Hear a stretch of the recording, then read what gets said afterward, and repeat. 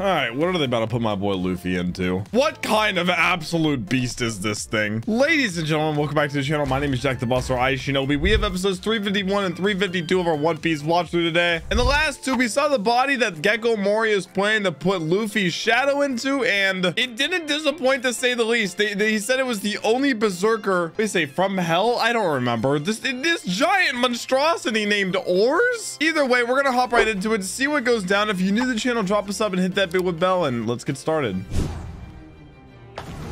Are they undoing the chains? Oh. Oh, Gecko is walking on them. Oh, yeah, and here I was thinking Gecko was a big fella. This thing is like 20 times his size. Struggle, Shadow Luffy, struggle! So throwing the Shadow in just immediately just resurrect Oars? God dang. That's not even a giant, bro. That's bigger than a giant. Yeah. In retrospect, that looks bigger than than Brogy and Dorry, I think, in comparison. Hmm? Look at him go. Come on, buddy. Fight back. Oh, dang. He kind of just gave up. Oh, how kind of you. Wow! He's got like complete control over shadows. Oh my gosh. Wait, so he can he can like tell a shadow what to do. Oh my! Yikes! Why does he always comment on it? And he always is a pun too. He's a gooster, man. Chopper, they are bound to see you, brother. Oh, he just hits it against the body?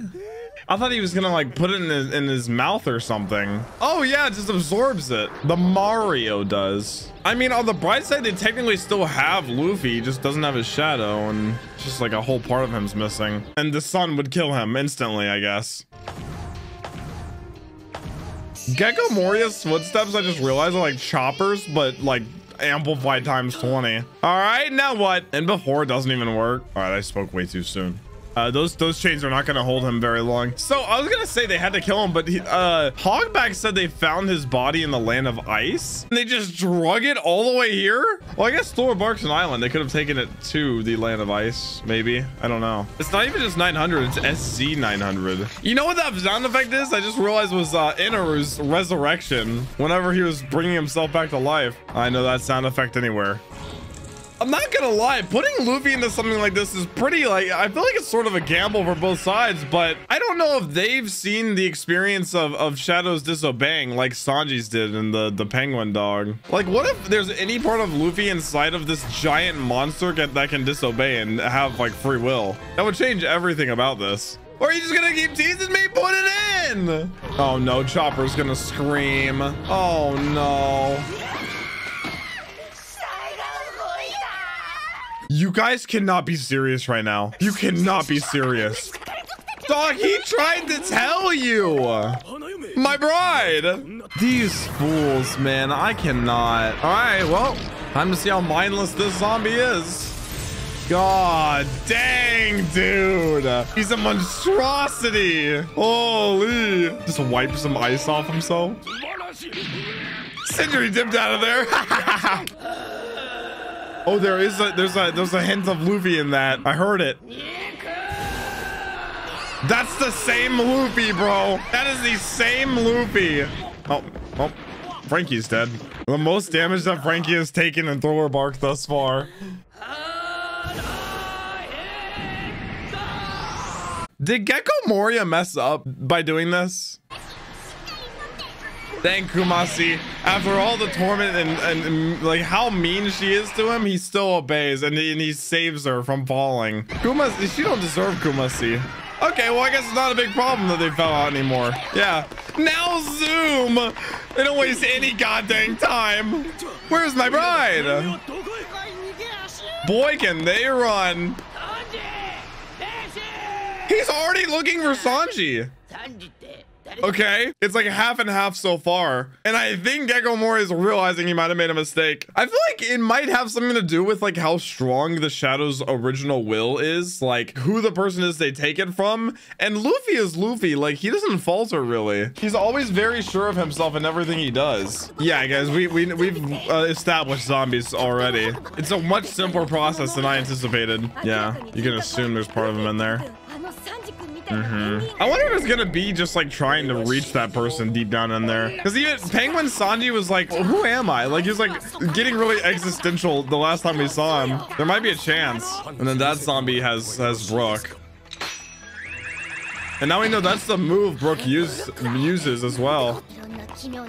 I think I've got the whole picture like pretty set in stone.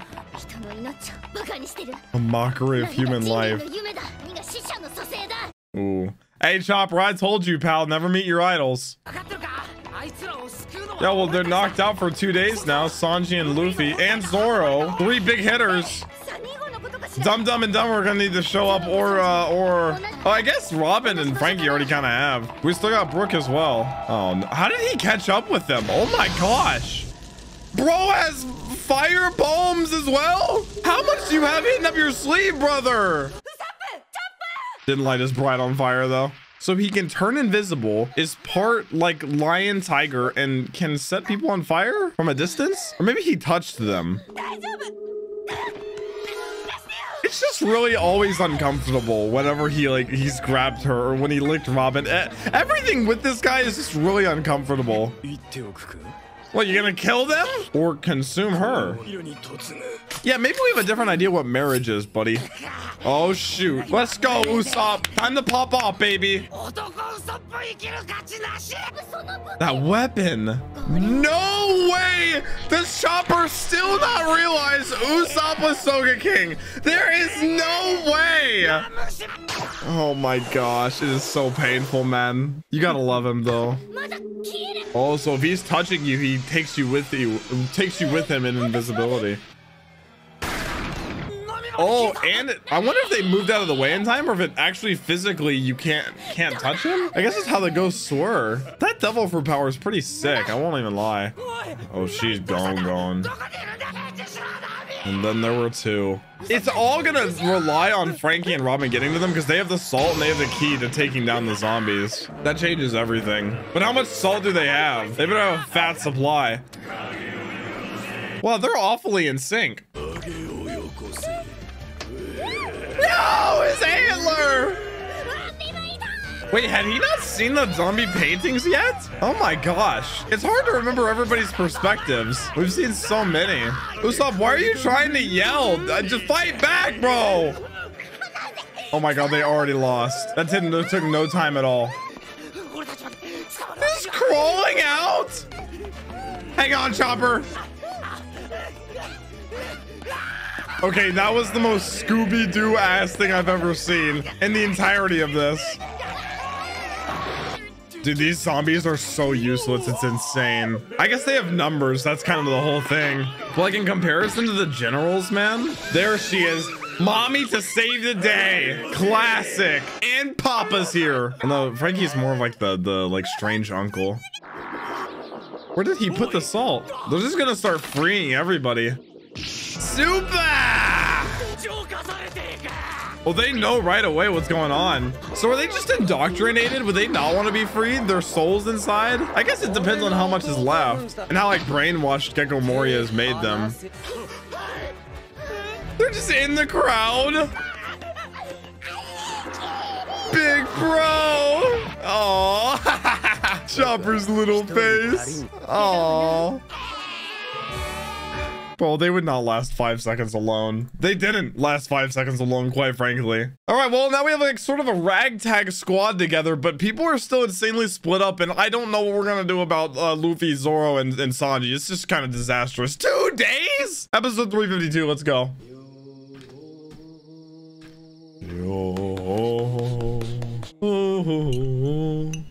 Oh, he's running back to the samurai, right? Well, you got kicked down once. Just gotta keep going. Can't let him knock you down permanently. Let's get it, Brook. Come on, baby. That's gotta be frustrating to see like a part of you just taken and put in someone else. Tell him. Tell him. The Ryuma. So he was, I'm assuming, just insanely like talented swordsman. So he has his body, but Brook's sort of soul. I wonder if Zoro will have heard of Ryuma if he was as talented as he's claiming to be. Gets carried down a big staircase. Oh wait, back to the yeah, back to the ship. Can't let the physical body die. You didn't start with that? Oh my gosh. It does not look like they have much. I'm gonna be honest. How do you explain that? Hmm. Well, if they do get back to the ship and they took the bodies back to the ship, then everybody will be together aside from Brook, I guess. But Brook's got his own sort of side quest going on here. That's our whole team, baby. Oh my gosh, that food is enormous. Gecko Moria's is staring. Dog, you cannot be serious. And then she's not even gonna listen to his explanation. So it seems like he has like the ability to talk, he'll probably be able to talk to him and have him sort of molded into who he wants Luffy to be or Oars to be. Like this feels like a sort of situation like Frankenstein. Like Frankenstein's monster is gonna become so powerful he'll be able to overpower Frankenstein himself. Frankenstein being Gecko Moria. All the food? All the treasure rooms in the basement. Ah. She's like, I hope we all die. Classic Optimus Cindry. Hey, Cindry, I'm gonna be honest. You can come join our side. All we got is us and Brook, and that's it. Another zombie? Oh, we'll take it. Wait, I wonder if... So if they if they freed Cindry's soul, it would just go to nothing, though, right? Because, like, her original soul was dead? How does that even work? Now that I think about it. It's an entire mission just to take Luffy-Oars' food. They're gonna run out still. This is just, like, his first meal of the day. A salted fish? Oh my gosh, I just realized. Anything lightly salted? Oh my goodness. That would be hilarious though. They accidentally give him a little bit of fish. I think that's it. That's a large fish.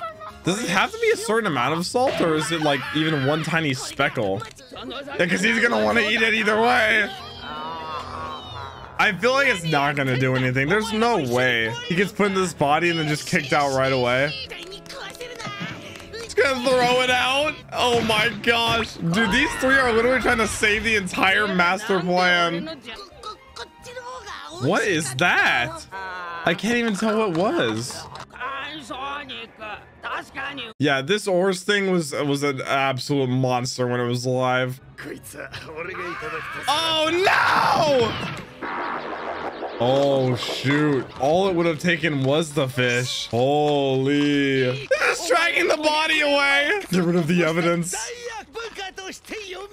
Serve. Yeah, I was gonna say, why is he why is he gotta serve you? Wait, he said he has his own dream. He's talking about Luffy's? Yeah, he's already disobeying. Oh my gosh! Dog, what boat is gonna fit you? Dog, what has Gecko created? Dude, his design looks so cool. Oh my gosh. Is this what he wanted? He doesn't look nervous or like worried. So he retains none of his physical abilities. A strict. He's still got the same dream. I said he doesn't falter. Still shocked that that Gecko like this is his whole plan. But I like I said, I'm assuming it has something to do with his, his devil fruit power in terms of like how he actually does have control over zombies that he's he's taking shadows out of and putting something else. Like he has some mental control over them or something. Anything but my afro. Dang. Is he worried about getting the afro cut? I think they look quite quite polite. Like, look how chill they look. the idiot. That's how he found out. Some zombies trying to cook some fish. Oh, this is what we saw in Hogbacks. Yeah. Oh my gosh, what a threat. With salt. Oh, he didn't realize it was salt at first. Why could it not possibly be salt? God, dang Hogback, you just give up your entire hand, don't you, brother? Just, just no poker face whatsoever. Poor Roy, bro. He sounds so stressed over a grasshopper. Oh. I'll sing. Oh. And unfortunately, the one his shadow is in is not just any regular zombie. That sucks. But Gogo did say he puts the strongest souls in the strongest bodies. Why he wanted Luffy's for oars. So this is how he got the name Humming Swordsman? Just running around freeing people? He's like a, a horror villain to them. The skeleton running around, exorcising you. He did the same physical bit from the last episode. He's so goofy, man. I'm kind of surprised Brook didn't just like like stay on this island and try to permanently like free people. He could have just wiped them all out really slowly, to be honest. I mean, I, I assume he wiped out a decent amount though. And as soon as he said it like that, he knew, I bet. At last we meet. What a showdown. Now the question is how clapped did he get? Because clearly they already reunited at the, the castle whenever he kicked him down or he fell off the second story. It's not even close, man. How does he outsmart himself? Yeah, he stands no chance, man. That's so sad. In death, he has slowed down. その邪魔そうなアフロ Dang. やめろ At the very least. I mean, all he has to do is get like a little bit of salt on him, right? Or in him? Like he cuts him with it? 血は止まっているから飲みた Oh, くないんです yeah. よ That's so sad, actually. Wait, did he cut some of it? I can't even tell. It doesn't look that much smaller. Well, now I, I, I really actually do understand the importance of it. He loves his hair so much and he would never get any, any more if it was even remotely cut. Why does he always leave like an in indent where he falls? Is it because of how light he is? No, that wouldn't make sense. It would be the opposite. A dirty move? Bro, you have his soul! Dang. I think he stands a chance though. Getting back to him and fighting him? bro can do it. For now. I was just about to say, he can't even kill Brook even if he wanted to. He would lose his soul since it's rented. that is so sad, actually. Just like an injured animal. Give it to him, baby! Come on, Brook! Get your shadow back! Damn! Damn! Let's go! Keeping on that training arc. Where is he? I bet he's going to the treasure room, to be honest. Because didn't uh, Lola say the treasure room was near his room? Oh my gosh, he's going to actually have the wedding. Bro, she ain't gonna say I do. Unless it's a different type of wedding.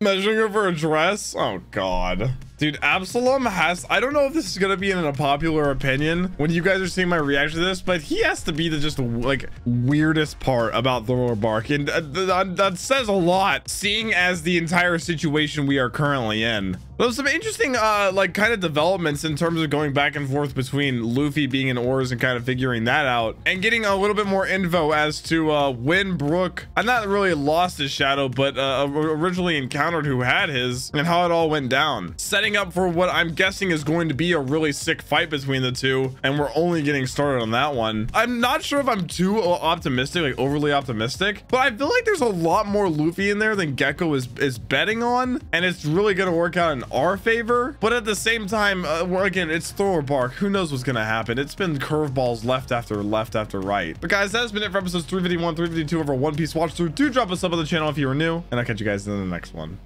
Peace peace